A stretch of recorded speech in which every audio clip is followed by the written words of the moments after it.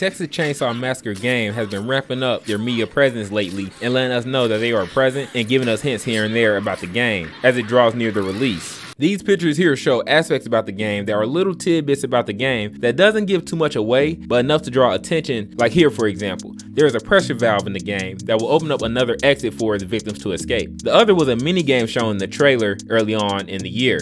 This video right here will hit on everything we know about the playable characters and how to win. If you are missing some knowledge on the game or want a refresher, then you are in the right place. Welcome to Mr. Unleashed World. Texas Chainsaw Massacre is a 3v4 asymmetrical horror game, which involve five teams that you can select from and five members of the family, but only three members of the family can be selected. All characters will have abilities that will be discussed later on in the video. All characters in the game will have abilities that can help the team win, but only if they work together as a team. And that holds true for either side that you're playing on because the family members will have some weaknesses in the game as well, even though they cannot be killed. Take Leatherface for example. He cannot crawl through tight spots in the buildings, and there's more examples for the other family members as well. So if you are playing a family member, do not think you can win the game alone when in the lobby selecting a character you will play, no one else can pick that character once you selected it. There will be no duplicates, so if someone picked the character you wanted before you, then I'm sorry. So from there, you're out of luck.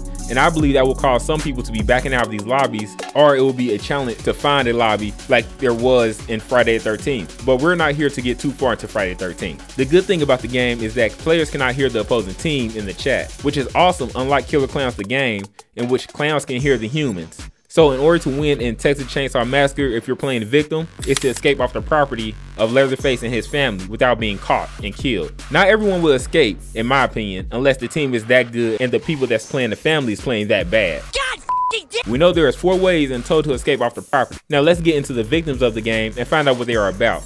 Before you forget, remember to hit one of those engagement buttons to rate the content. I appreciate the interaction. Like I said before, there are five victims that can be chosen in the game and it is a one character only selection. So if you don't like who is left, you better learn how to play them because they will be a key player in the escape just like the rest of them. And we all know these types of games give its characters abilities and or attributes that are specific to that character. There are five attributes available that a victim can have. First one is endurance which will recharge your stamina at a faster rate than the others.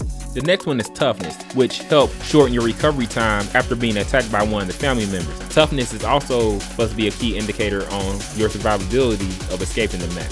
Strength is also an attribute that will give you a better chance of fighting family members and escaping restraints, which is huge in this game, and will help in turn off the generator that powers the cattle grid around the property. The other one is proficiency, and that is a key attribute because the stronger the victim is in this category, the more easy it is to pick locks that is set up by the cook. Even though stealth is a part of the game in general, there is an attribute for stealth, which will determine how quietly a victim can accomplish a task without making too much noise. Since we know the attributes in the game, let's go over each playable victim and their special ability. Let's talk about Anna. And in the game, they got her labeled as a leader in the group, and her ability is called Pain is Nothing. This ability makes her seem like a tank in the game for what that is worth, because her ability allow her to take more damage from family member attacks and the falls that may happen in the game. For example, when you see her jump out the window. So in Texas Chainsaw Massacre the game, Sissy makes potions, but Anna ability grants her temporary immunity against the poisons that may be thrown Anna away. Next we have Connie, who have the focused ability which allow Connie to pick locks much faster than the others, but the downside to this is that she will use more stamina when using this ability. Leland is more of a support type role in this game because his ability will allow him to stun family members by charging into them, which could also save a deadly encounter with a family member between a teammate or himself. To me, that is a very important ability to have in a critical moment. Next, we have my guy Sonny, and his ability in the game is heightened sense. Sonny ability is almost similar to the cook's. So this allows him to spot out noise made by a member of the family, letting him know where they are and track their movements around him. Can you say key ability because Sonny and Leland seem like some star picks in this game.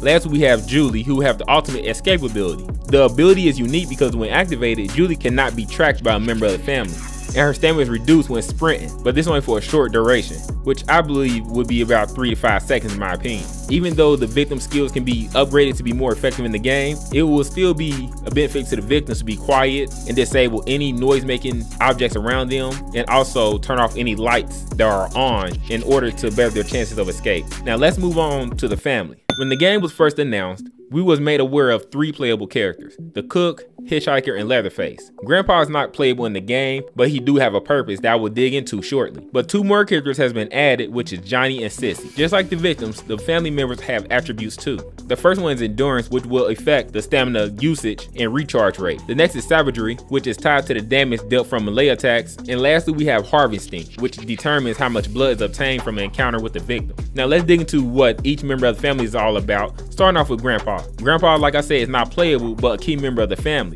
He will sit in a rocking chair in the room and he is leveled up by being fed victims' blood that's provided by the member of the family. He can point out victims in the areas of the house to help his family members find them faster. Next, we have the cook, and his ability is called Seek. The ability will allow the cook to listen carefully to any victim making loud noises in the room or in the area and pinpoint their location, just like Sonny can do for the victims. Then there's Johnny with his hunt ability, which is almost a given on what that ability is for. Johnny can track fresh made footsteps that is left behind by the victims. Very important skill to have if somebody playing Johnny. Sissy is the member of the family that can make the poisons like I said earlier, and she do this by local plants around the map. I'm pretty sure you will have to go and find these plants in order to get this done, but this ability is called Bang. She can attack victims with these poisons or contaminate items around the map, so be careful. Which items around the map that can be contaminated has not been revealed. Next up is the Hitchhiker who possesses the ability to trap people, and he is alerted when the trap is set off. Not sure if this is a big time ability if you're not being a team player, because you will have to get to the trap before the victim get freed. And if you're nowhere around, and by the time you get there, they're probably already gone. So it would be best to be playing as a team and communicate with them once somebody falls into your trap. Last we have Leatherface, who is the most dangerous on the map, and his ability is called Maim. It allows him to do a lot of things like breaking through doors or barricades and also killing victims instantly. You will need to rev the chainsaw at the right moment in order to get to start. If you try to overdo it, it probably won't start or you don't do it well, it might not cause as much damage to the victims as you may think but the revving of the chainsaw do increase victims' fear, which is always key in the asymmetrical horror game. Taking consideration that somebody on the team must play Leatherface, there is not an option for Leatherface not to be in every map. Now that we are aware of how the game is played and the key characters in the game, I want you to all know if you haven't heard already, there's a tech test, in other words, a beta testing, which is supposed to happen May 25th, and which is only for PC, and they only have a limited amount of spaces. I'm not sure how to lock down one of these spaces, but if you do end up playing the beta test, they are allowing you to stream any new information that's found while playing. There would be no NDAs required to be signed. Crossplay is another mystery about the game. It has not been announced to be in the game, but it's not out of the question from what I have heard. The Texas Chainsaw Massacre game has been given release date of August 18th, 2023. Make sure to tune in to the channel as more info is released. Welcome to Mr. Unleashed World.